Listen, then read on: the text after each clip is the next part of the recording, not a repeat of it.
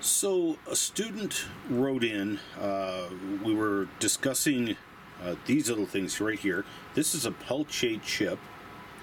And uh, really, all this is is if you take two different kinds of metal and twist them around each other, say copper and iron, uh, and you heat it up, it will generate electricity. So, all this chip is, it's, it's hundreds and hundreds of dissimilar metal junctions all wired together in series and coming out the wires on the end. Um, and uh, the problem is that the voltage that comes out of this is incredibly small, like uh, 20 millivolts, 30 millivolts if you're lucky, and that's if you got a lot of heat differential. Um, however, uh, the student that wrote in pointed out this relatively new chip, which is on this breakout board I got and it will work within with astonishingly small voltages. In fact, watch what happens here. I've got uh, so I've got a super capacitor bank here.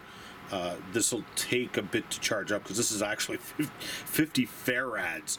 Um, I had to put them in series because these are only 2.7 volts, and the voltage out will be boosted to 3.3 volts or uh, 5 5 volts, depending on which one I set it up.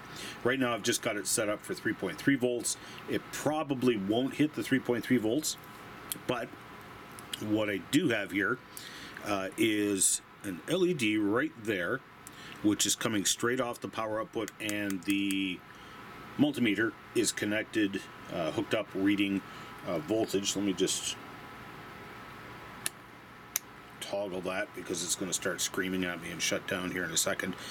And uh, what what it does is it boosts the voltage with this microscopic transformer here, which was a real bear to solder on there. It's a surface mount transformer, and uh, however, this is really impressive. So what I'm going to do is I'm, all I'm going to do is I'm going to put this this is the cold side. I'm going to put the warm side in the palm of my hand so it gets body heat.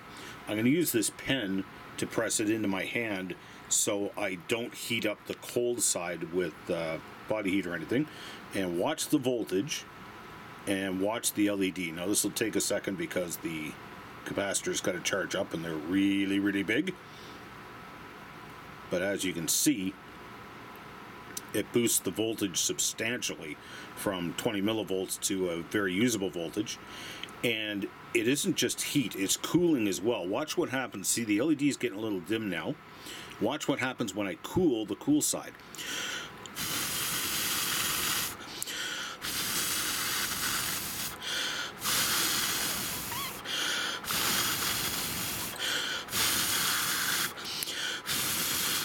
Again, because the capacitors are so big, it takes a second to react. Um, I'm going to use just a little bit of alcohol hand sanitizer here on the cold side because the alcohol evaporates very quickly and cools the chip off very quickly through evaporation. And watch what happens here.